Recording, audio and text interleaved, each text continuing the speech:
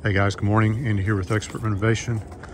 You don't like the weather in Macon, stick around today. It's nice and cold as opposed to our tropical weather we had yesterday. Getting ready to start on a deck replacement.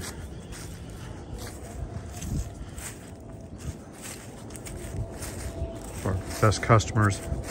There's a lot of rental property here in Macon, so try to take care of their roofs and decks for them gotten all the good that can be possibly gotten out of this this deck. Uh, a lot of things wrong with it from the start. Two by six construction, four by four posts. Best of intentions, but time for it to go. It's not really even walkable. We'll be doing an exact replica with everything the way it should be.